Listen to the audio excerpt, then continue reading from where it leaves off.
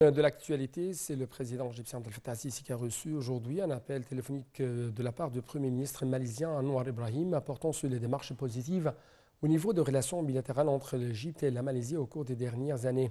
Le porte-parole de la présidence, le conseiller Ahmad Fahmi, a souligné que les deux parties avaient manifesté leur intérêt à plus de rapprochement, notamment sur le plan de la coopération économique, commerciale et d'investissement ainsi que dans le domaine culturel et dans le domaine de l'échange éducatif. En ce qui concerne la conjoncture régionale, M. le Président Abdel Fattah et le Premier ministre de la Malaisie ont discuté des efforts égyptiens visant à parvenir au cessez-le-feu et fournir les aides humanitaires dans la bande de Gaza.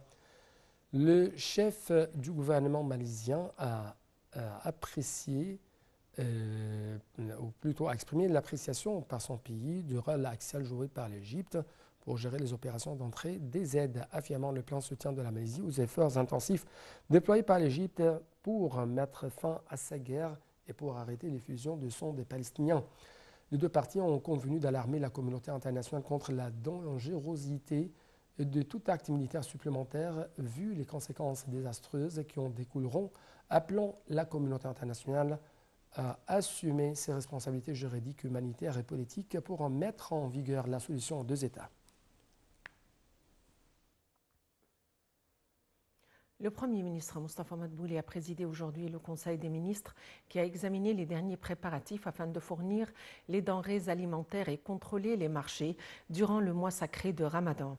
Le cabinet ministériel a aussi examiné les lois et les importantes résolutions visant à réaliser la stabilité économique et sociale et encourager les investissements.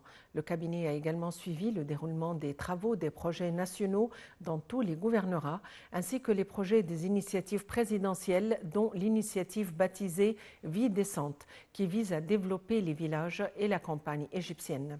Le Conseil des ministres a aussi examiné les dossiers de l'industrie, de l'exportation, de l'agriculture, de la santé et de l'éducation, ainsi que les mesures relatives à la subvention accordée aux personnes à revenus modestes.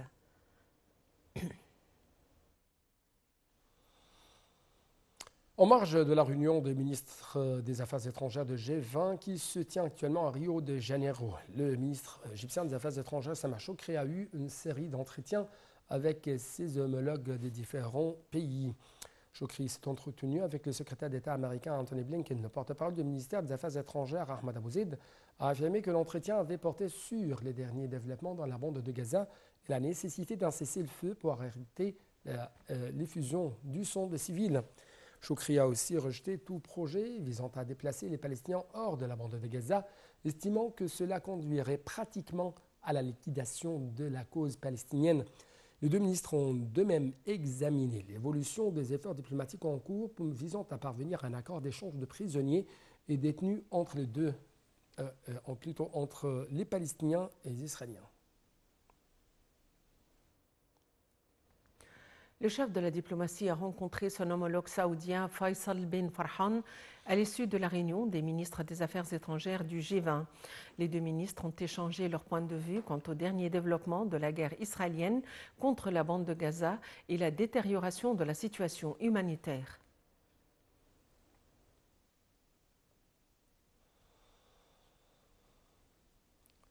M. Chokri s'est également entretenu avec son homologue indonésienne Reteno Marsoudi. Les discussions ont porté sur les relations excellentes entre les deux pays et le moyen de les promouvoir.